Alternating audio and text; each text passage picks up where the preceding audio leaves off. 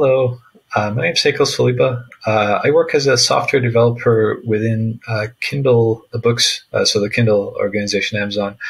Um, a website called Kindle Direct Publishing, uh, essentially for independent authors to publish their work with, with Amazon. So someone like myself, who's not necessarily an author by trade, doesn't want to go through a publisher, can go and upload their book there and, and publish with us. Uh, uh, and I'm here to help you uh, with the uh, interview section, specifically the coding part. Uh, hopefully, provide you with some some tips as to things we look for, uh, things to avoid. Um, I'll be doing that just through the uh, an example coding exercise. So I'll be essentially pasting in some code, walking through um, kind of the, some of the things we look for when when writing the code and before and, and after, um, and things to to avoid. Um, we'll start with the, the tool you'll be using for your interview. It's called LiveCode. I have that shared on my screen. Uh, essentially, it's just a text editor. Um, you don't have the ability to compile or run code, uh, but you could choose just a language for, for highlighting, for syntax highlighting. We'll go with Java. Um, and your interviewer will just uh, paste a question for you. So we'll start pasting a question, and um, you'll be given some time, uh, about 25 minutes or so is typical time. Uh, so I recommend the first thing you do is, uh, is obviously read through the question, but but take take your time to read through the questions. Take at least two to three minutes. Um, in this case, uh, I'll just read, read, through it real quick. Um, it looks like we'll be provided a time series. It's a two-dimensional array. Again, it has uh, ones and zeros, and those represent robot positions. One is where uh, a robot exists, zero it doesn't. And we're asked to essentially return true or false for uh, whether a time series is valid or not. Um, this condition we see here is robots can only travel up to one index further than their previous uh, than their position one step before. Um, and so in this first example, this first robot moved one to the left, uh, the second robot moved one to the right, so it is valid.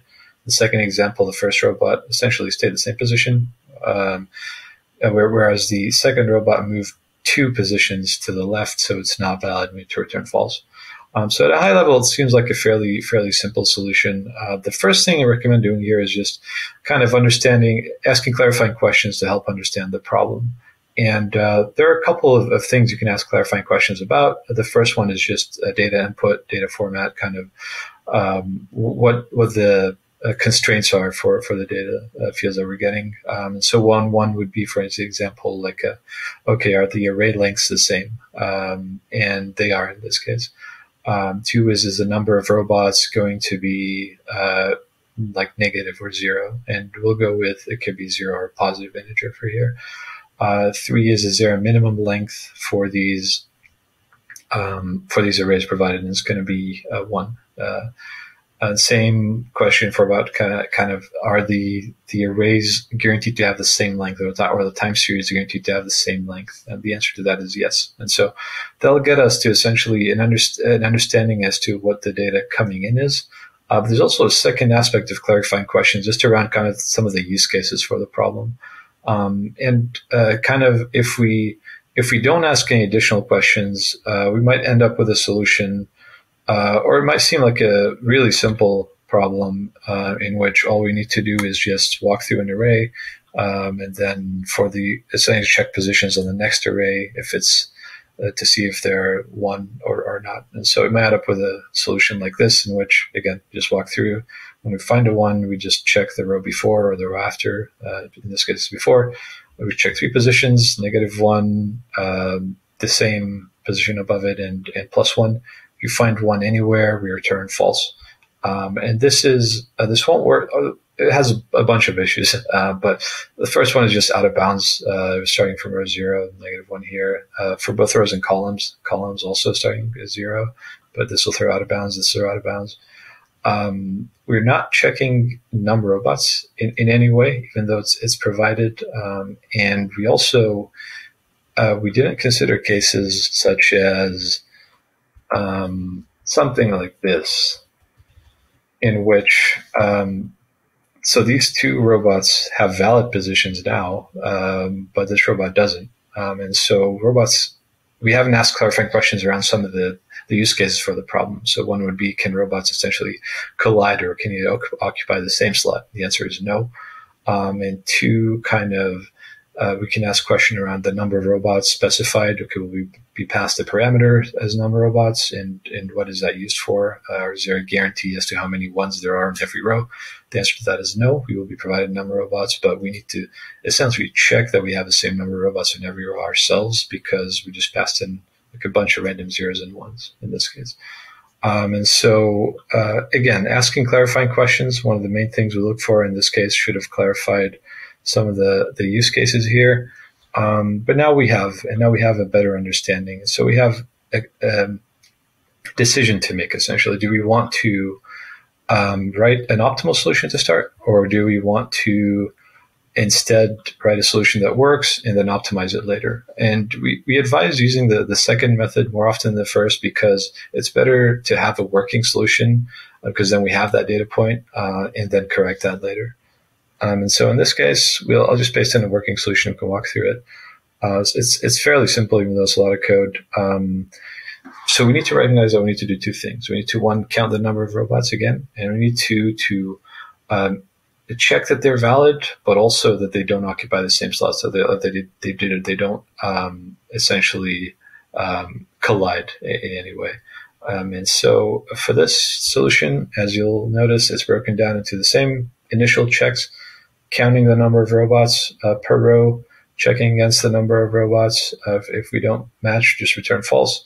Uh, the second step is the um, uh, kind of the bulk of the problem, which is uh, okay. Now we, and we might choose to do this a bunch of different ways. We can choose to modify the grid in place or um, you know, check uh, a row against the one after it and then check the other way around as well. Um, or the, the, way we're doing right now is we just, we map the indices of the robots and then we just compare them against each other. And so we create those um, arrays that are just resp- responsible for storing the positions of the robots. And um, uh, we essentially get this for the first row because we want to start from row one compared to the row before.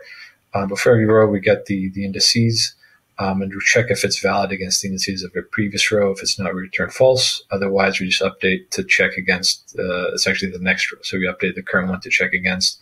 The next one is just checked on the next iteration of the loop. Uh, if false okay, we just return true after.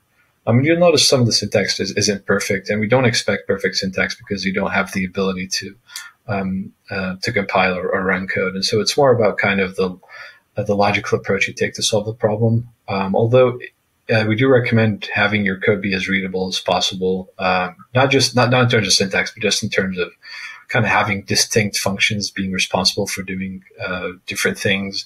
Um, not having a lot of repetitive code, um, kind of making sure to add comments if there's some has some code that's complex that someone may may not be able to read uh, very easily. Um, so we, we do watch for that data point specifically, just not so much the syntax aspect of it. Um, so we have two helper functions here, just one that creates this indices uh, for us, just finds ones in a, in a, row essentially, and just updates this array and returns it at the end. The other one is just checks um, two array positions essentially, two two indices. Uh, uh, into respective arrays for where the positions are. Um, and you'll notice I'm using a helper function here, um, just because we're comparing two values. Uh, you know, negative one, zero, and one are, are fine in this case. Um, and that's typically okay to do is to use library functions as long as you just mention it to your interviewer. Um, there are certain cases in which library function just you know solves a problem for you, which is uh, clearly not the data point we're looking for. So in that case, they'll maybe be, ask you to implement that the helper function. But as in general, it's fine to use uh, library functions. Just mention that to your to your interviewer. So um, here we ended up with a solution that is um, uh, it, it's working, um, but typically we recommend if you have the time to take some time to look at the code and test it on your own um, and test it. Not, you can't run tests obviously, but uh, writing a test case that might might break it and walking through the, the code line by line is typically helpful to find bugs because otherwise um, you know you won't be able to to detect those bugs that might be uh, fairly fairly obvious. A lot of times it's typos or things like that. Um, so recommend if you have the time again, take uh, take a little bit of time, write a case that's not a happy case uh, to test your code. Uh, try try to break it. Um, you'll also be asked about time and space complexity. In this case, uh, time complexity you'll notice is n squared, but it's two n squared because we're looping about two arrays twice, uh, n squared or n times them, uh, but both are fine in this case, length times width. Um, but the space complexity is also um, because we're using these uh, arrays here, and um, it could be that number of indices is just the length of the uh, the grid. So um, you'll also be asked what the optimal uh, time space complexity are. In this case, it's um, we can improve on both uh, time and space complexity. Uh, in time complexity, n squared, there's like we still need n squared. It's just we don't need to have two set like two separate checks. So so small o can be improved. Um, but in space complexity, we can actually run this in in constant uh, time. And so kind of making sure you have enough time saved at the end if you choose to write a non-optimal solution is usually a good idea because you'll get time, you'll get the chance to improve on that on that solution. Um, so in this case, we will um, skip forward to the optimal version of the solution just to to help walk through that real quick. Um, and you'll notice for this, it's kind of very similar um, in some in certain aspects. And so we're still counting robots, except we're doing this as part of walking through the grid one time. Um, uh, right here. But the, the main aspect of it is is kind of moving or not using this index this array for positions anymore because um, we recognize that if you just move left to right, um, a robot is forced to move into the uh, the earliest available position essentially. And so keeping track of where the latest one is that we've used so far and kind of uh, preventing robot from moving to that index, but having it move um, after it basically is is uh, guaranteed to to give us an answer. We don't need to store an O-event array. Um, so in this case, uh, you'll notice last used index gets updated to where the position that we find the latest robot. Uh, if we either don't find robots, so they're, they're zeros in the available slots, or they're ones but they're used, um, then we just return false. Uh, otherwise, we walk through the end, we count the number of robots, we return true. And in this case, you know, time complexity is, is n squared still, but we don't have to do, you know, separate for loops for counting robots versus solving the problem. Um, but space complexity is constant because we, we don't declare any arrays or anything like that here. Um, so at a high level, kind of, I know this is a quick walkthrough. This is how we solve a problem, but specifically what you can expect from a coding interview is you'll ask, you'll be asked the problem is kind of similar, but it, it could use, um, kind of some of the standard algorithms, things like, you know, tree traversal, uh, greedy algorithms like dynamic programming, uh, sorting. Um, and so it's likely to have those kind of aspects in the problem. Uh, it's likely that you'll have to use some data structures as well. Some of the standard ones like, um, you know, trees, heaps, uh, sets, lists, uh, maps, arrays. Um, so, so recommend kind of having more a, like a breadth of, of understanding of data structures, more so than being a super in depth um, on on one of them. Um, and and uh, the the biggest part I think is is to kind of maybe uh, time yourself taking some of those exercises so that because you have you're going to have like 25 minutes for the coding question um, and you'll want to probably start with a non-optimal solution and optimize later. Um, and so just timing yourself, we find helps a lot because it tend, time tends to go by quickly when you're, when you're writing code.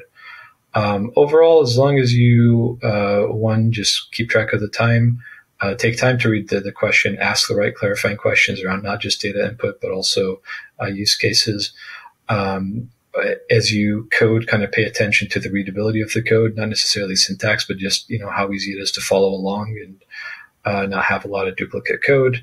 Uh, use the appropriate data structures. Um, test your code if, if possible, just by walking through to, to kind of confirm some assumptions that, that you make. And uh, yeah, make sure you understand the, the time and space complexity of your of your solution, and they are able to reason through trade offs in both time and space as well as the the optimal solution um, I hope that that helps. Um, we're uh, we hope you interview with us, and we we hope to see you working in Amazon soon. Thank you.